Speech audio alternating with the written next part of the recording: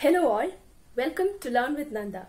I am Sharanya and today we'll be discussing the basics of a very important topic in physics, electromagnetic induction.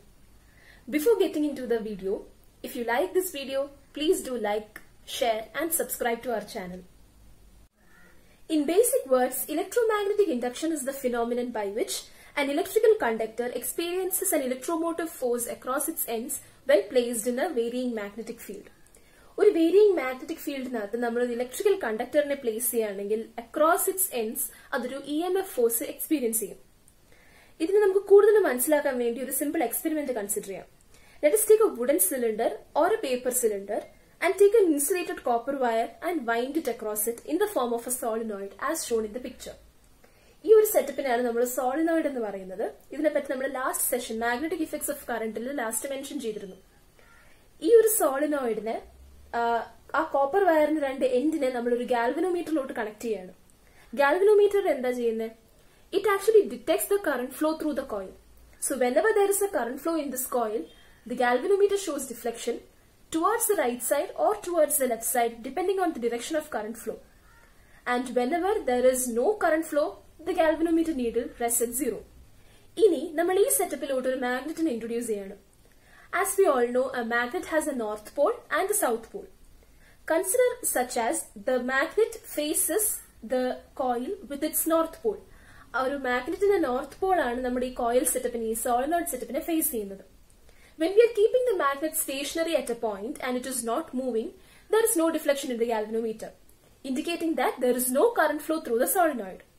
Now, we are moving the magnet slowly towards the coil.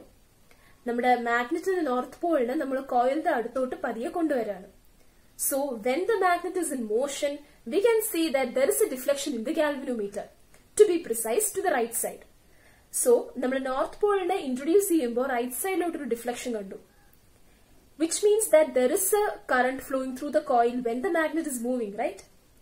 ഇനി ഈ മാഗ്നറ്റിനെ നമ്മൾ move ചെയ്ത് ഒരു particular പോയിന്റിലെത്തി stationery ആയിട്ട് വെക്കുകയാണ് പിന്നെ നമ്മൾ അതിനെ അനക്കുന്നില്ല so what happens the galvanometer also stops deflection there is no more deflection seen it is standing straight so we can infer that when the magnet is moving there is a current flow in the conductor ഇപ്പൊ നമ്മുടെ magnet ആ കണ്ടക്ടറിന്റെ തൊട്ട് അടുത്തിരിക്കുകയാണല്ലേ Now we are taking it back away from the conductor.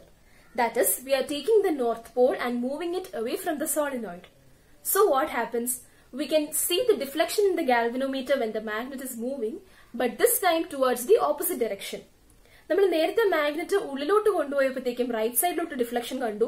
Now when we are taking it back away from the solenoid we can see the deflection towards the left side what is this indicate the galvanometer changed its direction implies that the current flow through the solenoid also changed its direction നമ്മുടെ സോളിനോയിഡിന്റെ ഉള്ളിൽ കൂടെ പോകുന്ന current direction മാറി എന്നാണ് ഗാൽവിനോമീറ്ററിന്റെ deflection കാണിക്കുന്നത്. Why does it change because taken the uh, motion of the magnet in the opposite direction.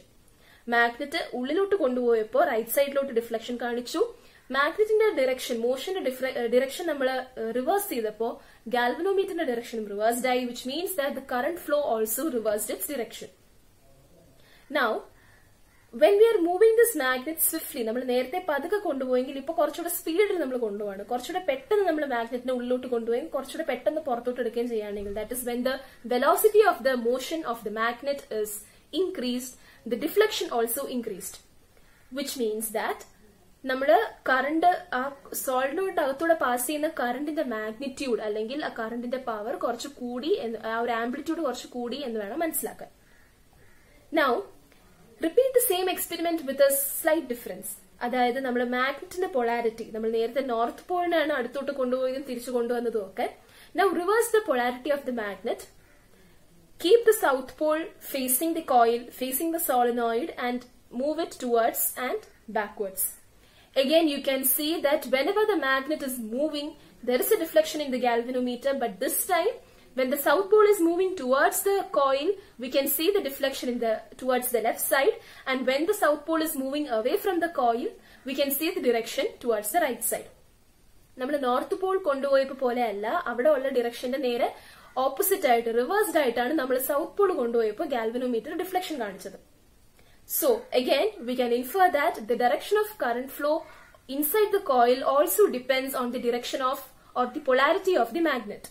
so to quickly summarize the experiment, we can say that whenever the magnet is in motion, when it is moving towards the coil or away from the coil, there is an induced current in the coil. And when the magnet is stationary, when it is not moving, there is no current induced. And the direction of the induced current depends upon the direction of motion of the magnet and also the polarity of the magnet. The magnitude of the current depends upon how fast we move the magnet towards the coil or away from it. This phenomenon is called electromagnetic induction and it was discovered by Michael Faraday in 1831. നമ്മുടെ സോളിനോയിഡിൽ induced ആയിട്ടുള്ള കറണ്ടിന്റെ magnitude കൂട്ടാൻ വേണ്ടി മൂന്ന് വഴികളുണ്ട് അതായത് ഗാൽവനോമീറ്ററിന്റെ deflection കൂട്ടാൻ വേണ്ടി ഇൻക്രീസ് ചെയ്യാൻ വേണ്ടിയിട്ടുള്ള മൂന്ന് വഴികൾ ആദ്യത്തേത് നേരത്തെ പറഞ്ഞതുപോലെ തന്നെ മാഗ്നറ്റിന്റെ മോഷൻ കുറച്ചുകൂടെ സ്പീഡിലാക്കുക increase the velocity of the magnet when it is moving towards or away from the coil the second is use a strong magnet ഒരു സ്ട്രോങ് പെർമനന്റ് മാഗ്നറ്റ് യൂസ് ചെയ്യുമ്പോൾ എത്രത്തോളം സ്ട്രെങ്ത് ആണോ മാഗ്നറ്റിനുള്ളത് അതിനനുസരിച്ച് നമ്മുടെ കറണ്ടിന്റെ magnitude also increases and the third method is to increase the number of turns in the coil or increase the area നമ്മുടെ സോളിനോയിഡിന്റെ വൈൻഡ് ചെയ്തേക്കുന്ന ആ കോപ്പർ ഇൻസുലേറ്റഡ് കോപ്പർ വയറിന്റെ ഏരിയ കൂട്ടിയാലോ അല്ലെങ്കിൽ ആ ഇൻസുലേഷന്റെ നമ്പർ ഓഫ് ടേൺസ് കൂട്ടിയാലോ ഈ പറഞ്ഞ ഇൻഡ്യൂസ്ഡ് കറണ്ടിന്റെ മാഗ്നിറ്റ്യൂഡ് നമുക്ക് ഇൻക്രീസ് ചെയ്യാൻ പറ്റും. As you saw in the experiment ഒരു മാഗ്നറ്റിനെ നമ്മൾ മൂവ് ചെയ്യിപ്പിച്ചപ്പോ അത് കാരണം ഒരു കറണ്ട് സോളിനോയിഡ് കോയിലിൽ ഇൻഡ്യൂസ്ഡ് ആയി എന്ന് പറഞ്ഞു. But how does this happen this is because when we are moving the magnet we are actually changing the magnetic flux uh, which is around it. That is ഒരു മാഗ്നറ്റിന് ഒരു magnetic field ഉണ്ട് ആ ഫീൽഡിന്റെ മെഷർമെന്റിനെ നമുക്ക് magnetic flux എന്ന് വിളിക്കാം so നമ്മൾ ഒരു മാഗ്നറ്റിനെ മൂവ് ചെയ്യുമ്പോഴത്തേക്കും ഈ മാഗ്നറ്റിക് ഫ്ലക്സ് ചേഞ്ച് ആവും and this change of flux causes and induced E M F in the conductor due to which there is a current flow from this V are moving on to Faraday's laws of electromagnetic induction which states that whenever there is a change in magnetic flux linked with the coil, there is an EMF induced in it. Also, the magnitude of this EMF is directly proportional to the rate of change of flux.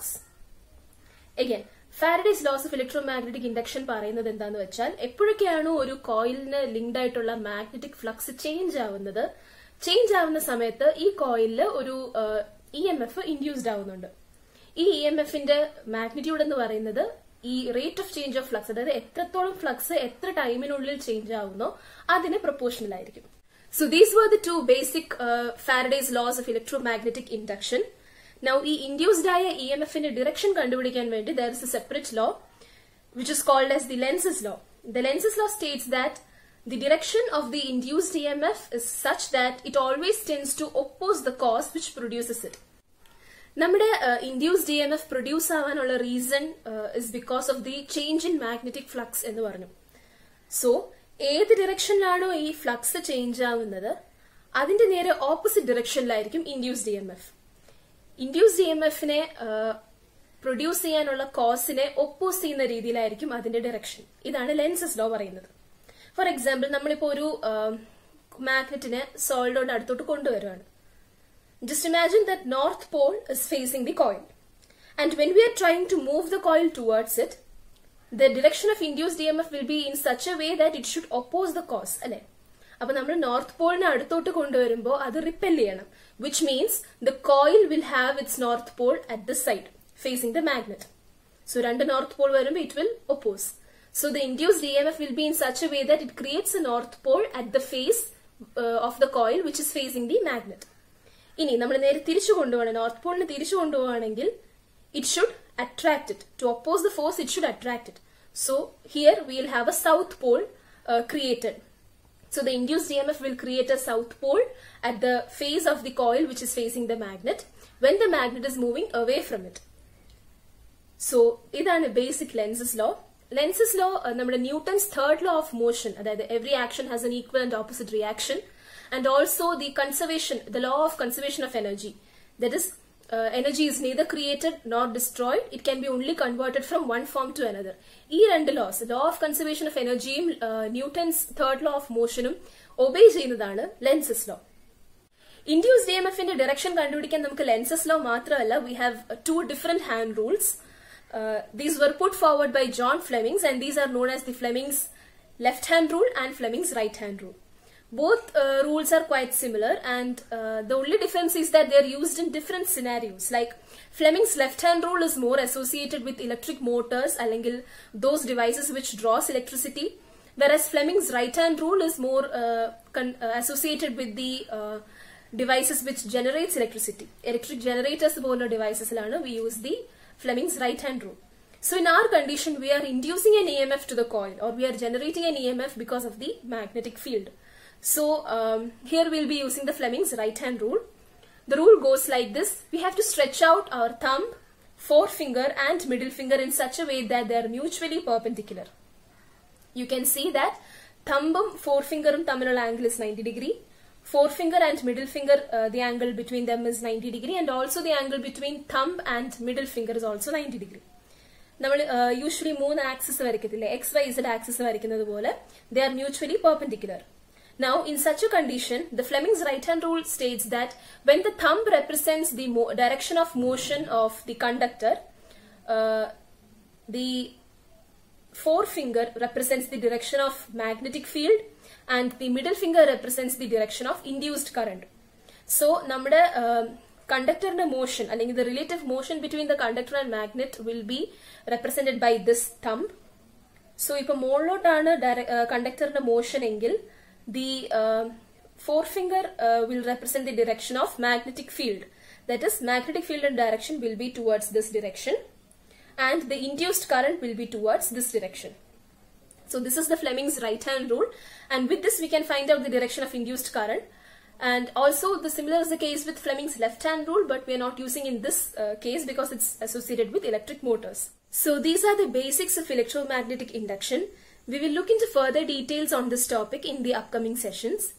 Also, if you have any doubts in any topic that we discussed today, please do let us know in the comment section. For more such classes, there is an online class platform. This initiative is called Photon, where you will be having experts taking classes in different subjects. So if you're interested to join, please do contact the number given below. And also for more details, check out the description box. Thanks for watching.